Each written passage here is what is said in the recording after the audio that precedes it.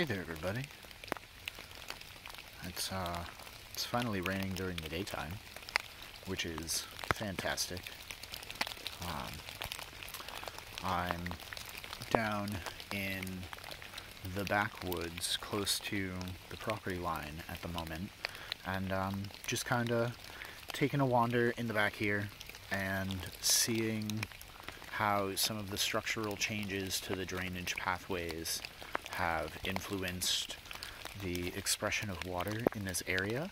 And um, I'm pretty happy with what I've seen so far. I haven't made it all the way back yet, but um, yeah, this space is just uh, idyllic. It's like a forest garden inspiration album in a walk. And so these little holding pools, um, they are catching water from upslope.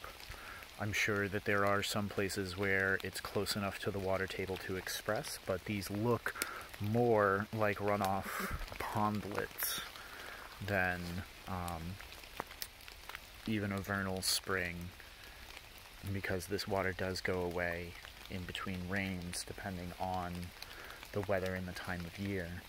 But um, this sort of pattern of pool and bank and bank and pool and bank and pool and bank and pool and bank is gorgeous and something that has gotten me thinking about some of the spaces that are more of a built environment than the naturally occurring one that we're looking to emulate.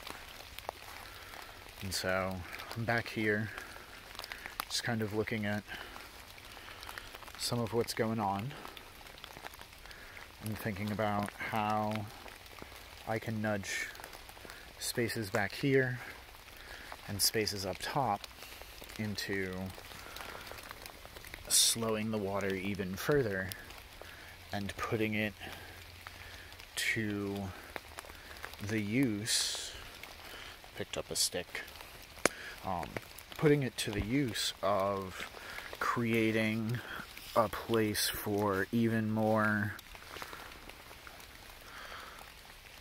That'll look good. Um, creating a space for even more plant life to hold this water and then to turn it into some more functional um, root exudates.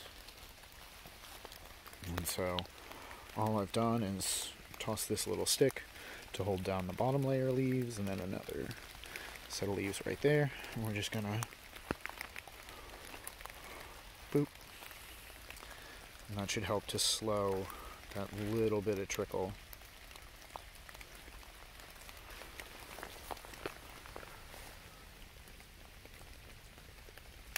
It's just the tiniest amount of movement now. That's much slower. You can see another instance and another instance and another instance of this pattern that we're influencing.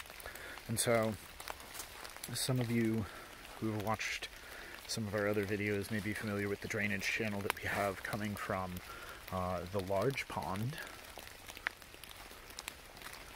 And so in these moments what we're what we're doing is thinking about how these drainage channels and edge spaces function together to create these sorts of structures in the woods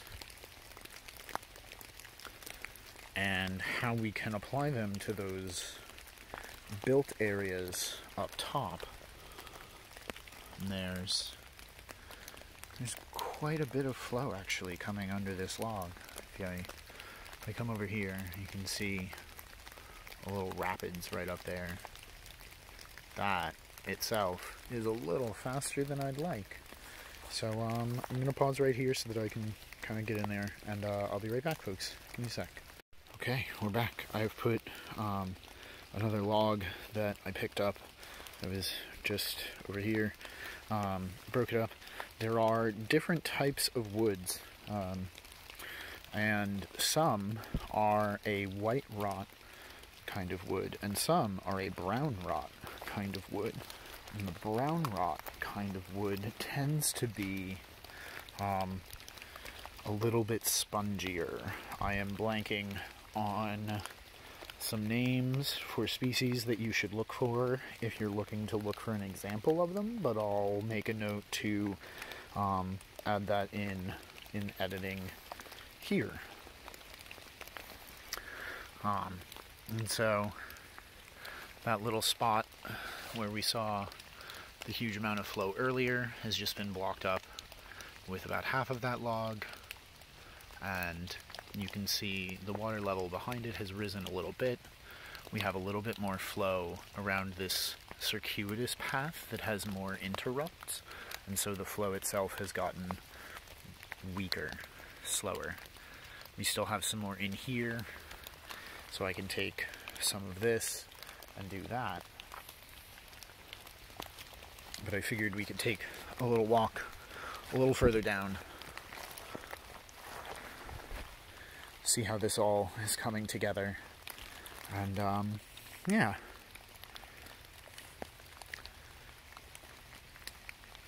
The pool here was definitely not as large before some of those interrupts were added up or down slope. So we're gonna step across real quick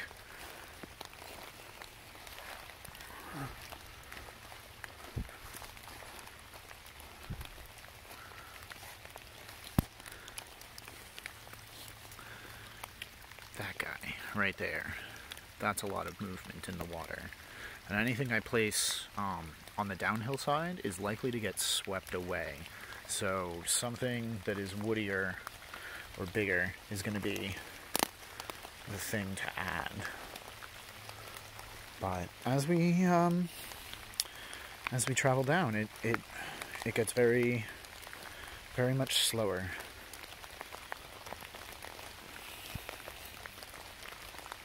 Oh yeah. Some of you may remember this structure where we were first talking about the um, the layout of crossing and then interjecting and then crossing um, to create that that pathway for water to slow. And even though it has that tremendous amount of speed up there that's exposing the tree root. Um, it slows again as it comes down and it has to kind of meander its way through before it hits another large catchment structure and slows down again and then begins another set of run.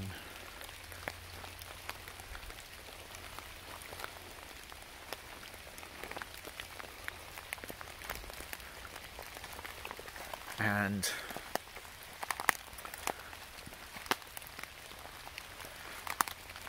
one of the nice add-on effects is that by slowing the water down down here even though I knew about this going up this way um, we're also seeing pools that are forming in other spaces now that the water egress has slowed again. And so there's this whole other channel here that leads out behind our next door neighbor's property. And you can see another tiny channel. But this all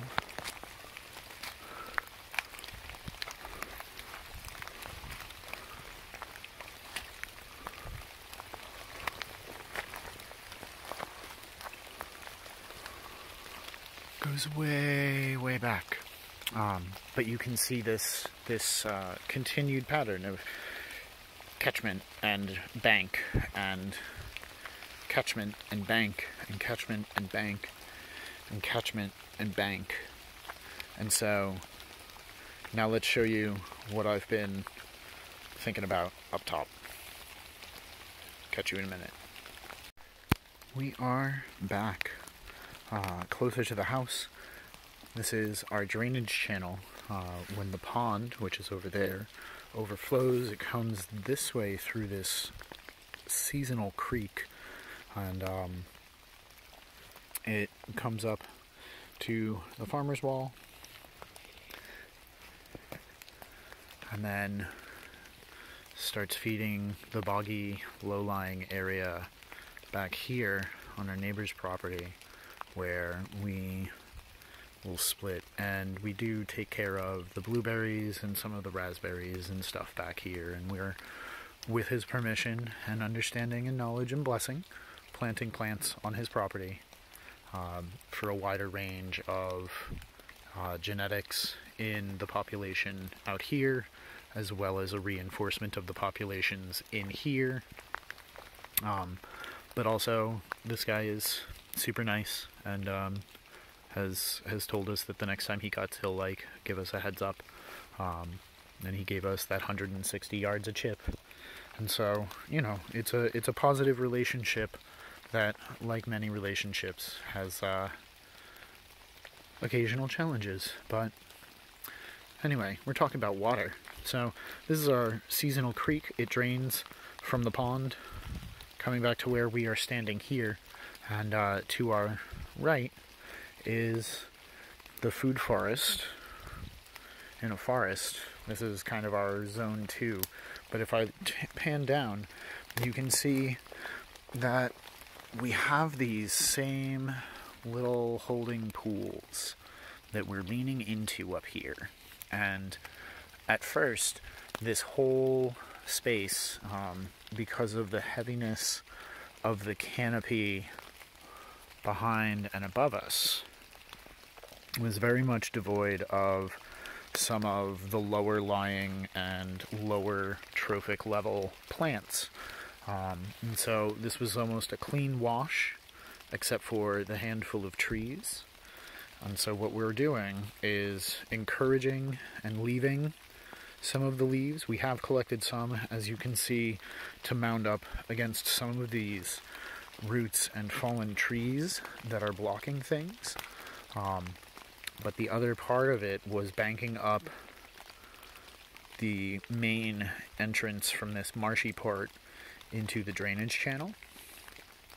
And so with that, you can see all of these leaves holding the water in place. I'm gonna step still not too deep in here, but my hope is that with each year and a focused intent, those will improve and we can harvest muck soil or dredge them occasionally if we choose um, to add fertile material to the other areas. But we'll start building up some of the soil fertility with things like rock dust or uh, the bun poop or hay from the ducks. Um, and the other portion of it is we are creating these islands like down in the woods. Um, functionally the same way that the woods create them, which is by laying down carbon material. Um, in the woods, when it's not us doing it, it's really much more in the form of whole trees, such as this, which I hope will hold some water in this area here at some point. And so, um, there's this uh, methodology for water-based or water harvesting and growing pairings. Um, one of them is a chinampa, um, and another that friend of the channel pointed out is the waru waru, which is um, kind of mimicking that that pool of water mound of dirt, pool of water, mound of dirt, seasonally flooded, whether it's man irrigation or natural irrigation. And I think that this space here kind of calls for it. And so uh, I'd encourage you all, if you are undertaking similar projects, um, are there low lying areas that you perceive to be substandard for growing things because of the amount of water that the space holds? Are there species that you can lean into, possibly from Ericaceae, um, Vaccinium, Willow or Salix, Elder or Sambucus, um, Alders or Pawpaws or any number of hydric species. Can you lean into those a little bit in a space like this? Can you find material locally that you can use to build up those artificial mounds that will then become both a walking space in between the seasonal pools and also a planting base on the edges depending on the water needs of the species you've selected.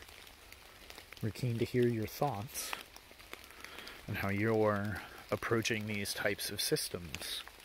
Obviously, we are just in the beginning phases of implementing this, but I hope you can see what I see as far as the potential goes for holding and utilizing this water to improve the soil conditions below us, as well as the canopy quality above us and at eye level. Something that will support a wider array of species. So, those are our thoughts. Apologize for the long video, but not really. It's been a while. So, yeah. Till next time. Thanks for watching. Happy planting.